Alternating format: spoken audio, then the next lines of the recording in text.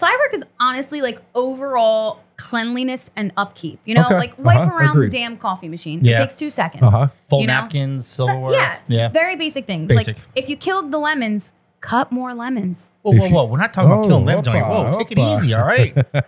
These Italians, right? Tough. Restaurant Punk, what's up?